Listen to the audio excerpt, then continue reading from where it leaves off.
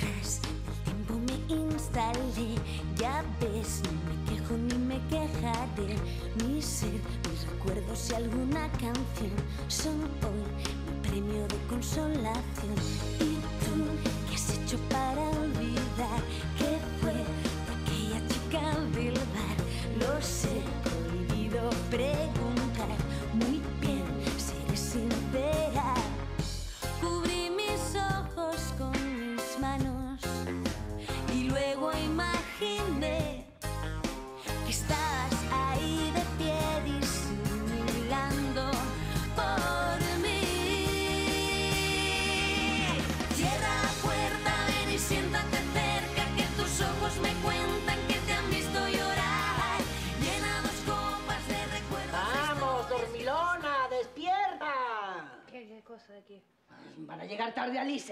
Flojas. ¿Cómo que, cómo que vamos a llegar? ¿Cómo que vamos a llegar tarde? ¿Quién dijo? que- Mamá, mamá, mamá. Tú apagaste el despertador cuando llegaste, ¿verdad? Tú Ya llegaste deberían estar desayunadas y encaminadas de lo que es. ¿Por qué agua? Ay, cónchale. Mamá, mamá, ¡Ah! mamá, levántate que vamos a llegar tarde,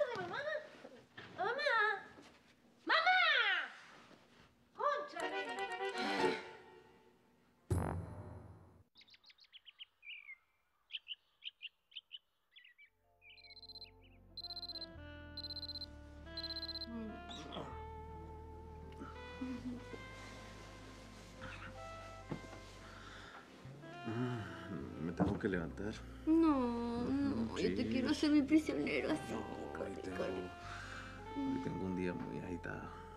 Pero tu prisionero. ¿eh? Yo soy tu prisionero. Vamos, a levantarse. No. Vamos. Vamos, vamos.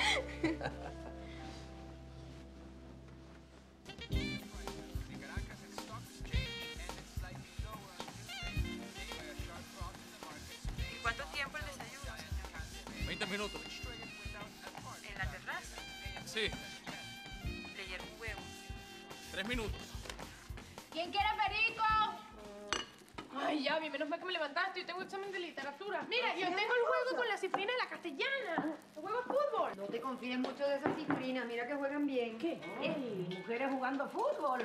¿Dónde se ha visto eso? Eso es deporte para hombres.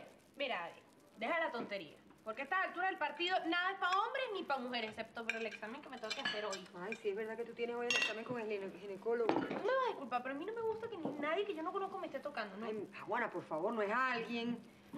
Es un médico y no vamos a volver a hablar del asunto, ¿no? Es que no me gusta, no me gusta, entiéndelo, no me gusta. Y si no fuera por la biología, si no fuera por la biología, entiéndelo bien, mamá, nada nos diferenciaría de los hombres. Ah, deja la más soquetada. La mujer y el hombre desde que nace son diferentes, Ay, mija. Y no solo en cuerpo, sino en pensamiento, en sentimiento y sobre todo en comportamiento. Ay, Yavi, por favor. Estamos en otro año, otra era, o imagínate tú, otro siglo. Por... ¿Qué es eso? Nosotros tenemos los mismos derechos que los hombres. Pues, vamos a hacer mejores cosas que ellos. No, que va, mija. La mujer y el hombre desde que nacen son diferentes. Y quien no lo quiere entender así se está buscando una pelea sin razón. Sin razón y sin futuro estaríamos nosotras si no nos hubiéramos revelado. Eso es correcto, eso es así. ¿Cómo? ¡Claro que no! Lo que pasa es que tú confundes la liberación con el libertinaje. Y eso no es lo mismo. Buenos días. Buenos días, mijo. ¿Está listo el desayuno? Claro que sí. Para eso estamos aquí nosotras las mujeres, para servirles. Vamos, siéntese, mijo, vamos. Siéntate, mi amor, te van a servir el desayuno. Mira.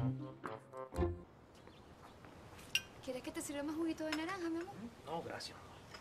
Hablé con la decoradora Ajá. y estábamos pensando para la fiesta en algo así como oriental, al estilo japonés. ¿Te gusta la idea? Mi amor, lo que quieras. Sé que tienes muy buen gusto y todo lo que hagas quedará muy bien. Ay, es que es el aniversario de tu revista, mi amor. Eso es lo importante que es esa fiesta para ti. Así que antes de pasar por mi tienda, voy y hablo con ella. Antes de ir a la oficina, pasó por el consultorio de Ricardo. Le dijo que la mujer está ovulando y hoy mismo será la inseminación. Quiero saber quién es esa mujer, Carlota. Creo que me sentiré más tranquilo si la conozco. Una mujercita que se alquila, pues. Mi amor, Yo pienso que no se le debería dar tanta confianza a esa mujer. Ni siquiera sabemos quién es ni de dónde viene. Lo importante es que sea sana y nos dé un hijo. Sí, claro, es verdad. Discúlpame. Lo que pasa es que yo no quiero que se te olvide que también existe la posibilidad de adoptar. Sabes que para mí no es lo mismo.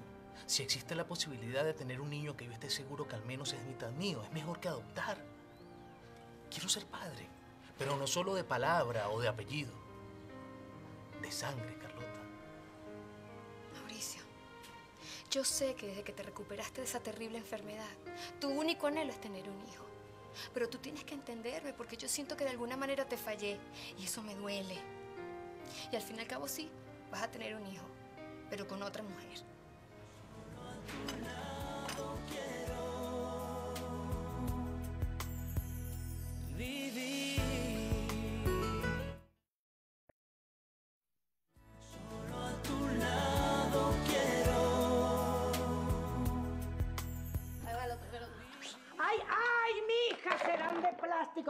Pelas el fregadero me puedes romper algo, mija. Ay, ya, vi, por favor, déjame que yo frego antes de ir. Ajá.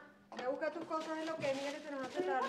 No, no, para, dame acá. Ey, ey, dame acá. Yo la Cuidado. Acá. ¿Qué?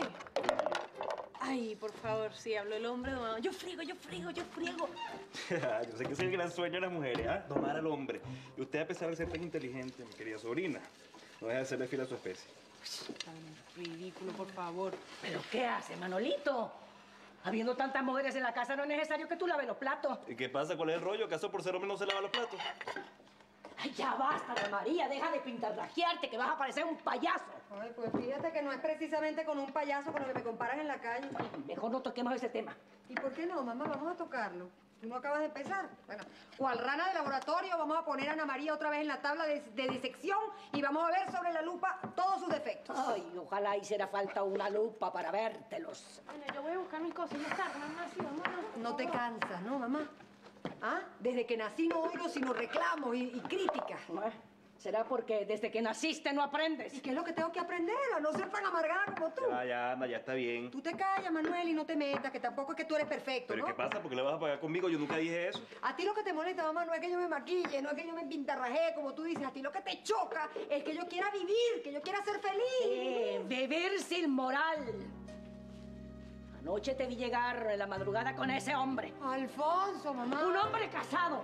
Uy, ¿cuántas veces te he dicho que Alfonso se está separando? Ay, sí. Y tú tan tonta que te lo creíste, ¿no? Ese es el ejemplo que le estás dando a tu hija. No importa lo que yo haga. No importa. A lo mejor yo soy todo lo que tú quieras, mamá. Yo puedo ser todo lo que tú te imaginas, pero al menos una cosa me quedó bien en esta vida y es esta muchachita que está aquí. A diferencia de ti, mi hija me quedó bien. Y fíjate lo bien que me quedó, que a pesar de que yo no tengo moral, como tú dices, ella me salió excelente estudiante, líder, buena alumna y además en una época como esta, esa niña se puede llenar la boca diciendo que es virgen. Eh, pero no será virgen por el ejemplo que tú le das. Ah, no. Ah, entonces es por ti, ¿verdad? Ok, ya está, se acabó. Por favor, no vamos a empezar con eso. Es que no importa lo que haga. Haga lo que haga, a ti siempre te parece que está mal.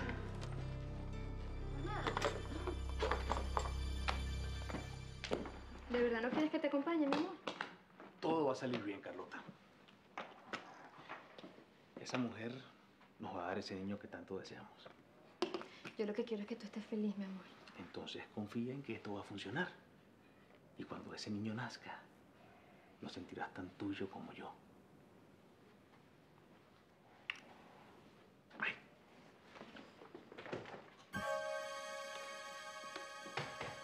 Bueno, es el día que la ordena, mi doña. ¿Y estas son horas de llegar, Nicolás? Ya deberías estar llevando de las empanadas a tu hermano y estar camino a la escuela. Déjelo negro, doña Susa, que hoy no tengo clase. Uh, ni que fuera día feriado, mijito. En verdadita, el maestro está impuesto. ¿Cómo dice? Indispuesto es lo que quiere decir tú, don Nicolás. Indispuesto. Eso mismo es. Y no hay suplete. Suplete. Se dice suplente. Ah, hay que ver que yo no sé qué es lo que te están enseñando en esa escuela, mijito. Mira, chavo, Nicolás, ven acá. ¿No quieres desayunar? Siéntate aquí, pues. Ven. Es que no me puede ver feliz. Basta que yo quiera hacer algo con mi vida para que ella me juzgue. Mamá, tampoco la cosa es para tanto. Ah, ¿te vas a poner deseado? Pitusa. Préndeme, Pitusa. Necesito ir para el liceo. Tú no ves cómo me trata tu abuela, Juana. Bueno, no te me vayas a poner temperamental tú también, chica. Ah, ¿temperamental yo? Mamá, la moto, mamá. La moto que no me prende, mamá. Esta moto que es más vieja que la tuya.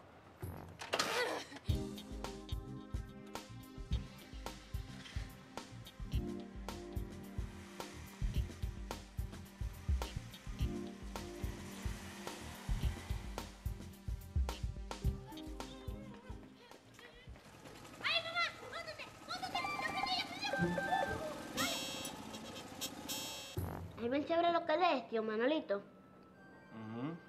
Está chévere, ¿verdad? Léeme un pedacito. No, Nicolás, es que no lo vas a entender. ¿Cómo se llama? Se llama Un amante de la ciudad. Es una obra de teatro. Léeme un pedacito, tío. Anda, vale. Véngase por acá. Mira. Dice así. Míralos. Ahí están. Un hombre y una mujer. Parece que es pura casualidad. Un encuentro gratuito. Pero tú sabes los millones y millones de combinaciones que han debido hacer las estrellas en el espacio infinito para que un momento así suceda. ¡Qué momento! Bueno, Nicolás, es el momento en el que un hombre y una mujer se encuentran por primera vez. No, tío. Este libro está loco. Como las estrellas que son grandotas y están tan lejos van a saber de un hombre y una mujer que son tan chiquiticos. No, Nicolás, es que está loco usted, señor, porque el cuento es al revés. ¿Cómo un hombre y una mujer que son tan chiquitos van a saber de unas estrellas que son grandotas y están tan lejos?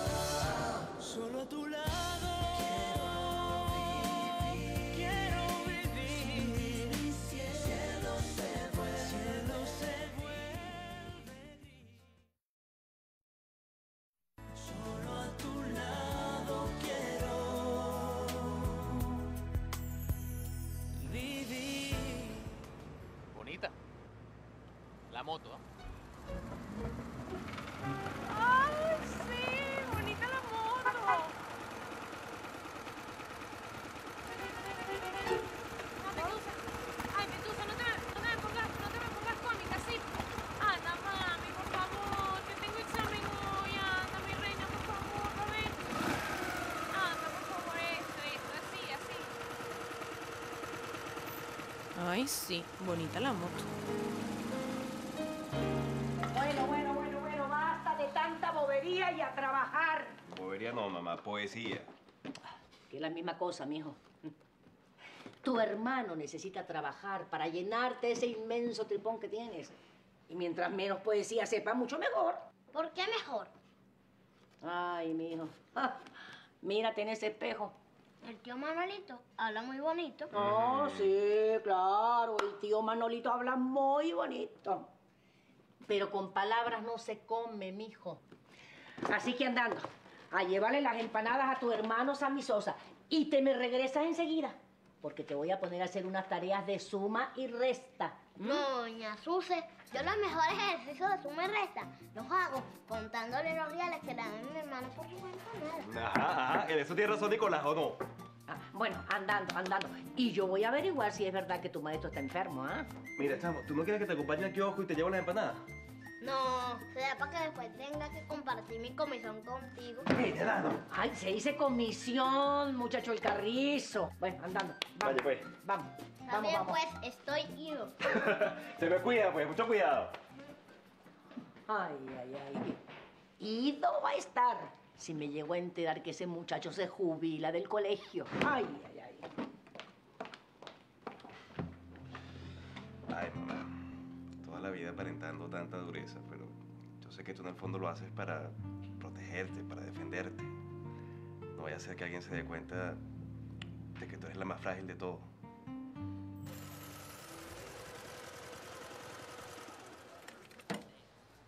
Hasta que llegamos. Pensé que este perolo hoy nos dejaba tiradas en la calle. Mamá, hazme el favor y no estés insultando a Pitusa. Mira que después se pone necia y no me quiere prender.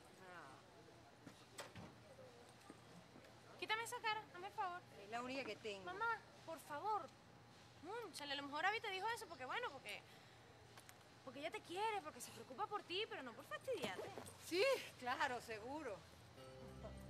Mamá.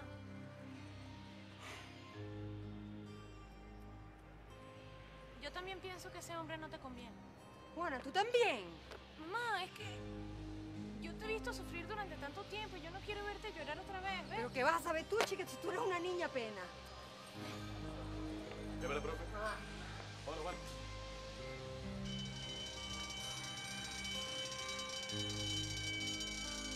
Disculpe la espera, señor de la Vega. Que nos quedamos sin secretaria y estamos algo enredados. Ya el doctor Gonzalo lo días. Señor, pase por aquí, por favor. Permiso. Esa es mi historia, amiga. Me casé con el hombre perfecto. Bueno, ni tan perfecto. Porque se antojó de lo único que yo no fui capaz de darle. Un hijo. Buenos días, Ana Carlota, ¿cómo estás? Buenos días, Ada. Estoy en la oficina cualquier cosa.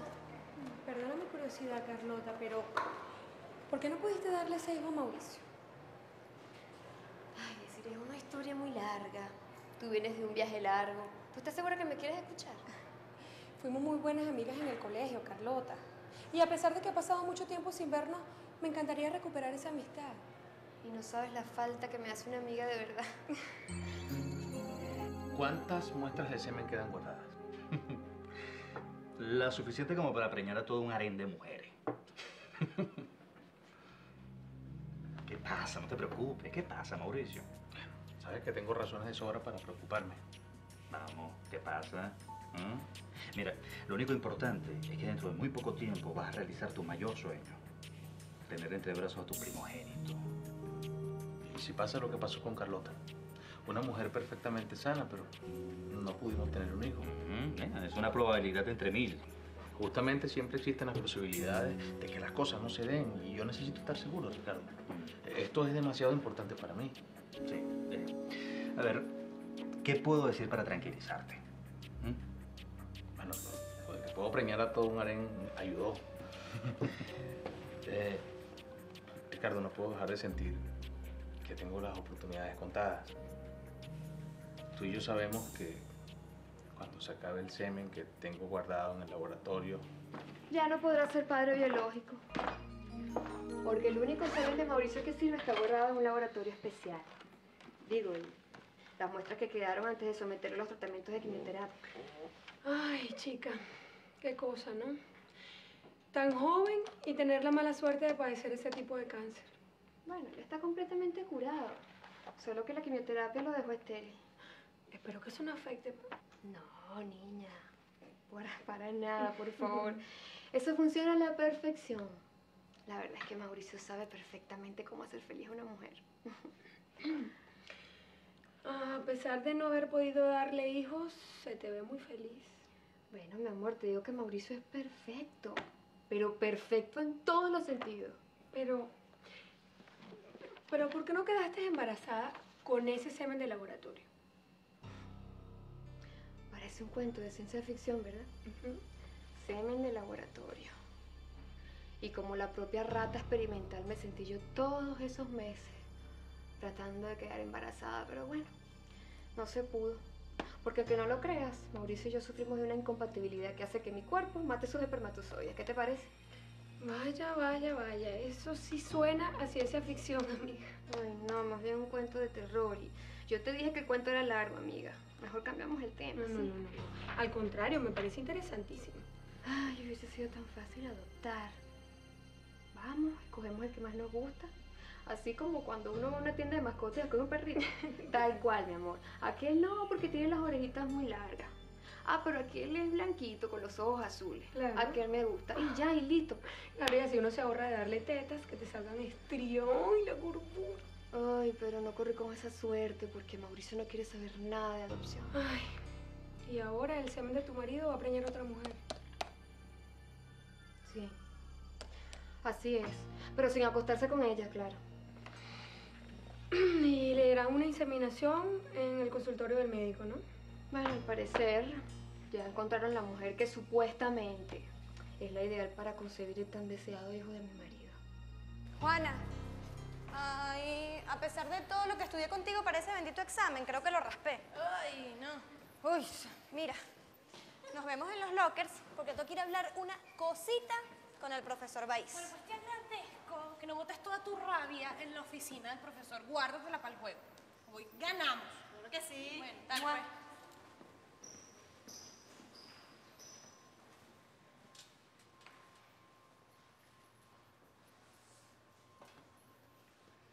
Definitivamente hay mujeres que atentan contra la cordura masculina. Mira, Miki, no se puede atentar contra algo que no existe. Eso me dolió a mi reina, ¿viste? Tú sabes que lo que yo siento por ti es de verdad. Tan de verdad que deberíamos buscar a tu novia para que se entere. ¿Sí? Que novia ni que novia, vale. Tú sabes muy bien que ella existe simplemente porque tú me rechazaste. Ay, sí, entonces la luna sale porque el sol se ocultó. Ven acá, Juan, ven acá. Tú que eres una chica tan moderna y tan revolucionaria para tantas cosas. ¿Cuál es tu rollo en estos asuntos de hombre y mujer? Yo ah? no tengo ningún rollo, Miki, déjame en paz. Fastidio. Entonces, ¿qué? Entonces, ¿será que te estás guardando para el hombre con el que te vas a casar, verdad? ¿Qué? Pido tu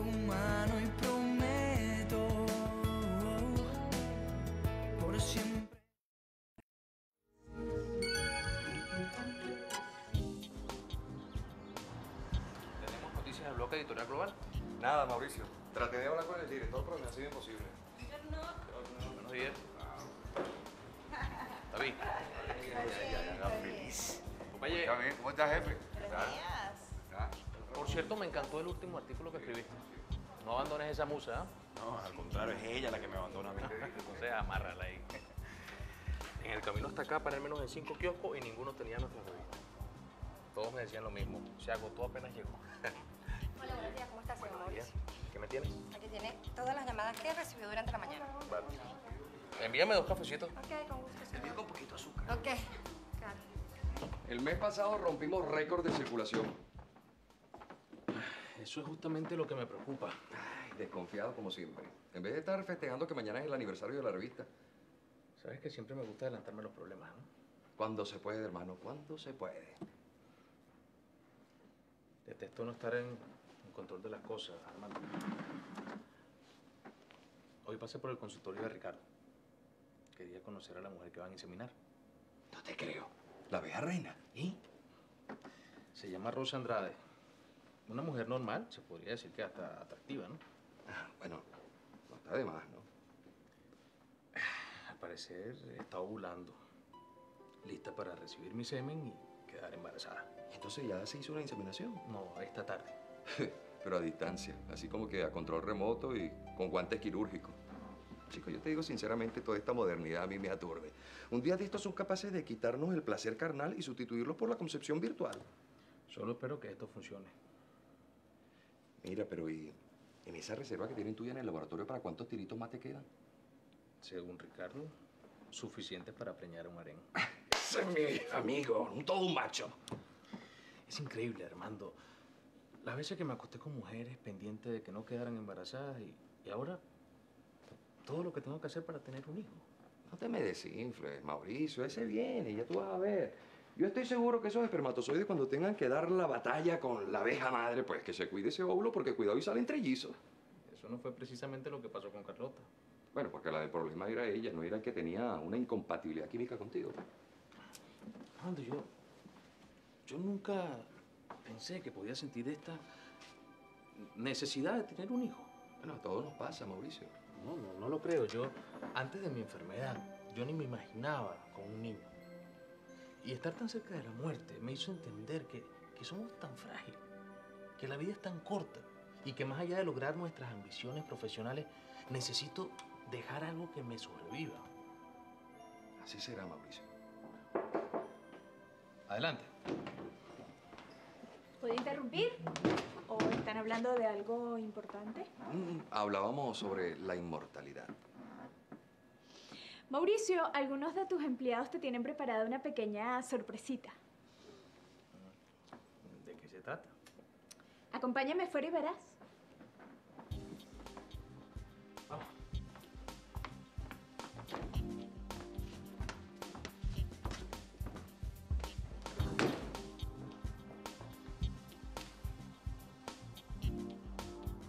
que la sorpresa no sea una renuncia colectiva. No veo a nadie en su puesto de trabajo.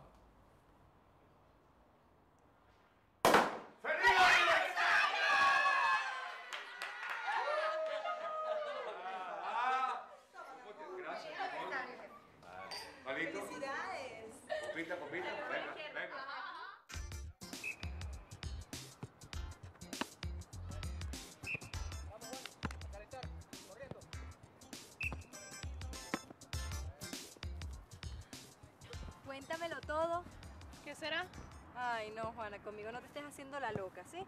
Que yo sé muy bien que le armaste un lío grandísimo a Miki en pleno pasillo. Ay, Dios mío, ¿cómo les gustó un chisme a ustedes? Bueno, chisme o no, cuéntamelo. Bueno, nada, simplemente me saqué una espinita que tenía atravesada. Sí, una espinita, pero me contaron que le gritaste que él te dejó porque no te quisiste acostar con él. Ay, Nelly, que estoy cansada. Estoy cansada de que la gente me vea como un fenómeno porque soy virgen. Lo peor de todo es que creen que lo hago por moralista. Porque estoy esperando para casarme con mi príncipe azul. Y no es así. Yo no creo en esas estupideces, no creo. Sí, pero hay mujeres que sí lo creen y se guardan para su matrimonio. ¿Pero y qué guardan?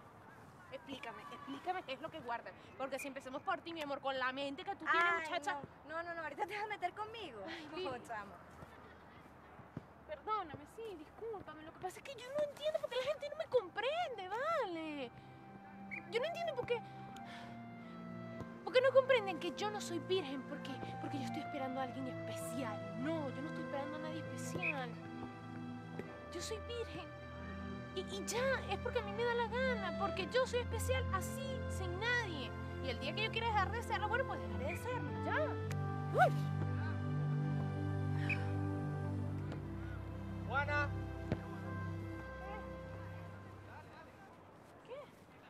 El director quiere hablar contigo. Referente a la beca. Eso solo te lo puede decir él. Ay, no, adelántame algo, no sean malos. Se me va a parar la respiración, no puedo respirar el corazón. La respiración te la voy a parar yo. Si tú no sales ya corriendo a la oficina del director y me regresas en un tris.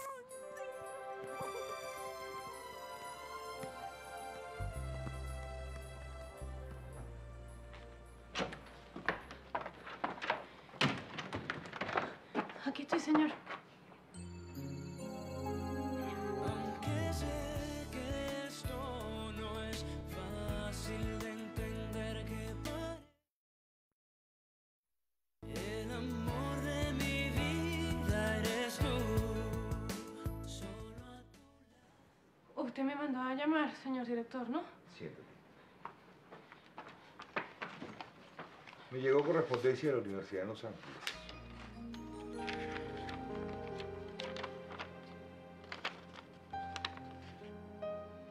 Fuiste aceptada, Juana. La beca es tuya.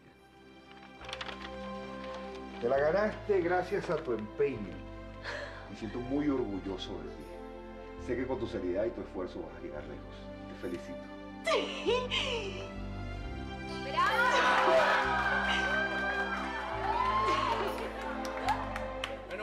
Gracias, gracias muchachos. Y yo estoy seguro que seguiremos creciendo. ¡Salud, salud! Caramba, caramba. ¿Alguien en cumpleaños? Los muchachos se adelantaron un día de la celebración y bueno, abrieron una botella. Ay, perdón. No les avisamos a todos los departamentos para no paralizar la empresa, que conste que fue solo por eso. sí, claro. Yo sé que los creativos de esta empresa son los que más se divierten acá. Bueno, es lamentable que nosotros los del departamento de administración siempre quedamos por fuera de todas estas. No, no, no, no. Eso no es cierto, darling. Lo que pasa es que ustedes son unos aburridos que viven sacando cuentas y cuentas y cuentas. ¿Qué decir? Cuentas, mi querida Viviana, para que ustedes puedan seguir jugando a ser creativos. Me deja como loca. Eh, Mauricio, precisamente necesitaba hablar contigo. Y creo que no son buenas noticias. Acaban de informar que ya salió para acá un gran número de devoluciones de la última edición. No me interesa que la revista se consolide en el mercado. Perjudicaría los planes del bloque editorial global. Mauricio aún no sabe que usted es accionista de ese bloque editorial. Yo soy accionista de muchas empresas, pero mi fuerte es la construcción. Quiero que permanezca así. Pero Mauricio es el esposo de su hija Carlota. Jugarretas del destino. Plan de acción ya estaba atrasado cuando ellos se conocieron. al poco tiempo decidieron casarse. No lo acepto. Mauricio, Mauricio, por favor, tienes que calmarte, ¿Qué no vale. puede ser verdad? Yo mismo te dije cuando llegué que camino a la oficina, me paré en cinco kioscos y en todos la revista estaba agotada. Bueno, Mauricio, la ciudad es muy grande, hay muchos puestos de revista. Pero bueno, ¿no será que las revistas nunca llegaron a los kioscos? Alguien nos quiere quebrar. Estamos atados de manos mientras ellos impriman y controlen la distribución de la revista. Si queremos sobrevivir, la decisión la tenemos que tomar ahora.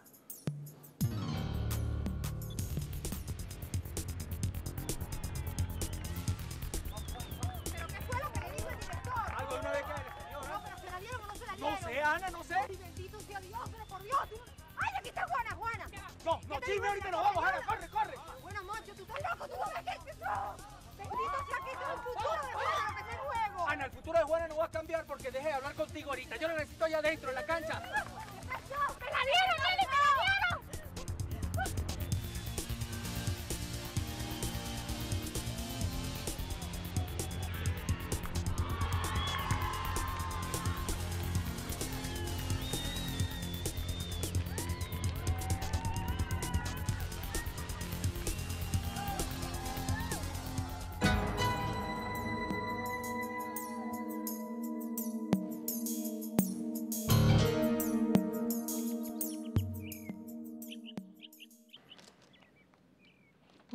Ya, ya, estoy bien, ya me siento bien. Mamá, déjame volver para la cómo son las cancha. cosas, ¿te das cuenta? Ahora que, que ella se siente bien, se desvanece en el medio de la cancha y ahora se siente bien y ella está perfecta. Bueno, pero no es la primera vez que le pasa, Ana María. Para mí son sus desajustes hormonales que tienen. Bueno, los mismos desajustes hormonales siempre, ya estoy bien. No, pero entonces ahorita tú y yo vamos a irnos ya para el médico. Mamá, por favor, yo tengo cita con el ginecólogo en la tarde. Déjame ir a terminar mi juego. Mira, yo te prometo de verdad que me dejo revisar completica. Pero déjame volver.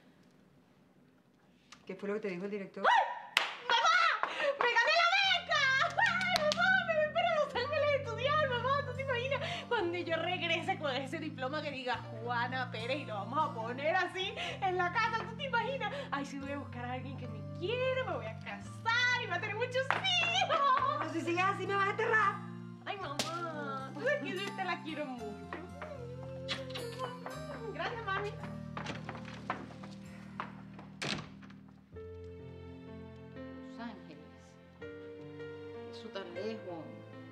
Esa niña sola y cómo anda el mundo. Da como miedo, ¿no? Necesitamos el apoyo de la mayoría de los accionistas para invertir en una imprenta. Mira, Mauricio, yo sé que Rogelio es tu suegro, pero a mí me cuesta imaginar que él te apoye en esto. El voto de Francisco es el definitivo, Mauricio. Entre sus acciones y las tuyas tendríamos la mayoría. ¿Tú no dijiste que estaba por llegar de Europa? Sí, ya, ya debería haber llegado, pero me extraña que, que ni siquiera ha llamado. Está decidido, Francisco. Te avisaré el lugar y la hora para que nos reunamos con mis abogados. Papá, Hija, mi vida. mm, ¿cómo estás? No sabía que venías al club. Y fíjate, vine a jugar golf y me encontré por casualidad con Francisco. ¿Cómo estás, Carlota? Bien, bien. ¿Ya viste a Mauricio? No, aún no he tenido el chance. Pues tu esposa y yo hemos pasado una mañana maravillosa. Me hacía falta compartir con ella.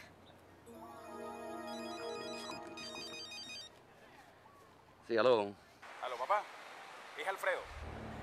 Estoy recibiendo los paquetes con la devolución del último ejemplar de la revista. Ay, ¿cómo lo tomó Mauricio? Bueno, tú sabes.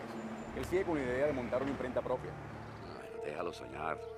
¿Te reuniste con Francisco? Todo marcha como lo acordamos.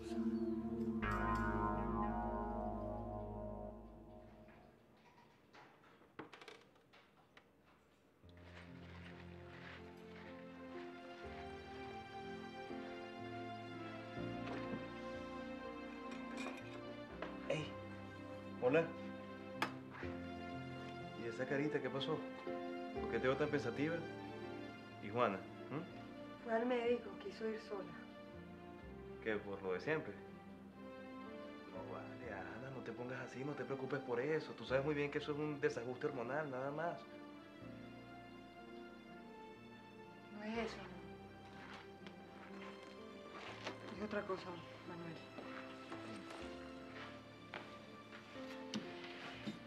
Ganó la beca. Juana se nos va para los Estados Unidos. Pero si el doctor Ricardo González tuvo esa emergencia, ¿quién va a atender a sus pacientes? El doctor Michelena, es el que siempre le hace la suplencia. Y ya dijo que venía para acá. Carmencita, ¿qué haces? ¿Qué? Esta historia no va aquí. Pon atención, Carmencita. Las pacientes del doctor Monsalve van en las carpetas verdes. La del doctor Pesante, las moradas, es verdad. Un poco meto la pata. Ay. Mira, Carmencita, concéntrate, por favor. No te olvides la última vez que hubo un equívoco. Que me voy a olvidar. No me botaron de milagro. Ajá, sí, voy de inmediato. El doctor Pesate me necesita. Te dejo sola. Centro de Ginecología y Fertilización. Buenos días. Perdón, buenas tardes. En este momento el doctor no lo puede atender. Por favor, déjeme su nombre. Muy bien. Pero qué horror. Este consultorio hoy parece una casa de locos. ¡Aló! No te digo yo. Colgar. Ya.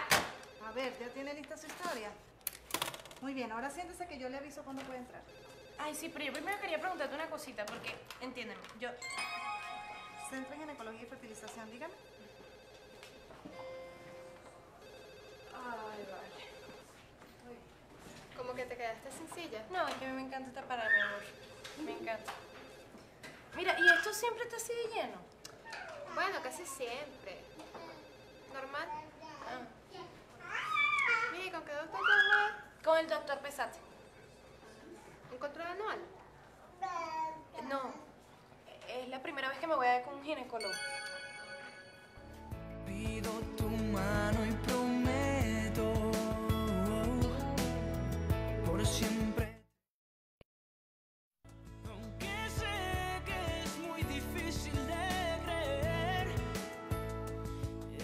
se ganó la beca. Ya, ya, ya va, ya va. Juana, Juana, tú dices Juana, Juana, nuestra Juana. Que, que, que se ganó la beca. ¿Ah?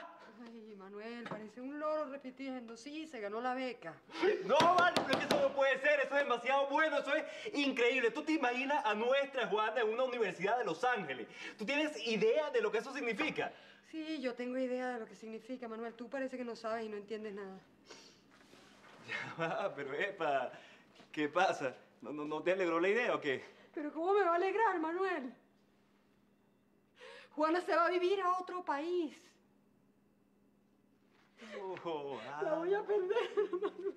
Mi hermanita preciosa, ya no metas. ¡Déjame, chico, déjame!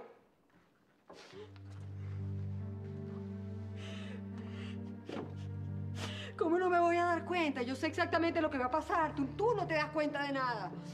Desde que nació no me he separado de mi hija. Hasta el cuarto compartimos. ¿Tú crees que, que- no la conozco? No sé cada respiración suya, cada gesto. Y tú ahora crees que yo me voy a alegrar porque ella se va del país. Voy a estar contenta. Ay, Manuel, por favor, ni siquiera me lo puedo imaginar. Ese cuarto ahí sin ella y- y ese... su libro y ese reguero de fotos y... Y ese no parar de hablar que tiene Juana que, que, aturde por la noche y cuando se despierta por la mañana. ¿Cómo me voy a alegrar de que Juana se vaya para otro país, Manuel? Si desde que me enteré lo tengo aquí clavado en el pecho, que no me deja respirar. Es que siento que... Que cada día que acerque el momento en que mi hija se vaya, me voy a morir yo un poco más.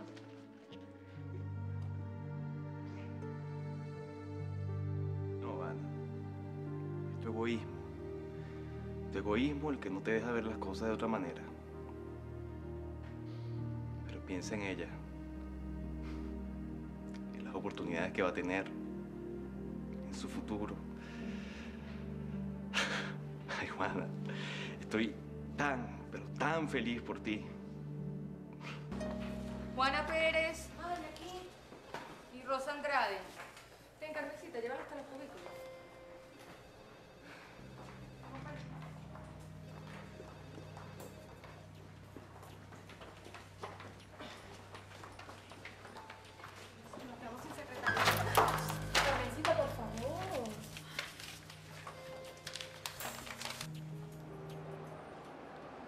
¿No te dije que lo íbamos a encontrar aquí?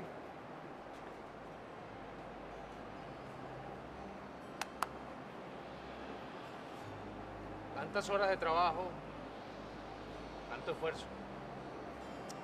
Tranquilo, Mauricio. No van a poder con nosotros. Tranquilo. ¿Qué pasó, Mauricio? Ya es la hora. Si no la han hecho, ya deben estar por hacer la inseminación. Las pacientes doctor Monsalve en el cubículo 2. Las pacientes doctor Pesate en el 3, ¿ok? Ah, y si llaman del laboratorio, avisa de inmediato, por favor. Mira que el doctor Michelin está esperando a los maestros de. ¿Quién es Juana Pérez? Yo. Pasa por aquí, por favor. Desvístese y colóquese la abertura de la bata hacia atrás. Ven conmigo. ¿Y tú nunca estuviste presente en una de esas inseminaciones? Con Carlota varias veces porque es mi esposa, pero con esta, no sé, una desconocida sería muy incómodo. Qué broma, ¿no? Debe sentirse como un poco raro eso de hacerse papá a distancia, a control remoto. Bueno, sin que uno tenga que hacer nada. La parte de mí que, que tiene que hacer el trabajo ya, ya está en ese laboratorio. Y en este momento se debe estar descongelando. Tremenda rumba, mi hermano. Rumba. Ahora es que empieza la batalla. Ok. Ya están listos para la inseminación. Buenas. Bueno.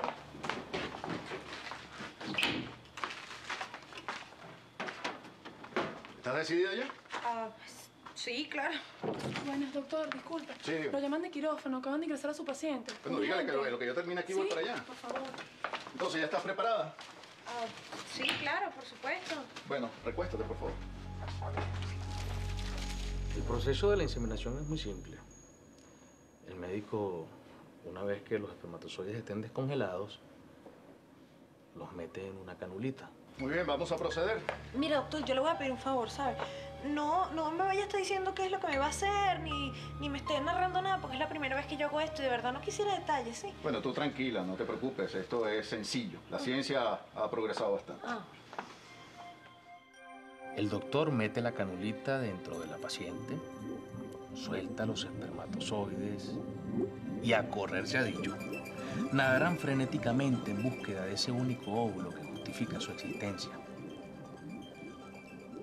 Si alguno tiene suerte, encontrará ese óvulo, lo poseerá y se dará el milagro. Empezará la vida. La vida de un nuevo ser que será mi hijo.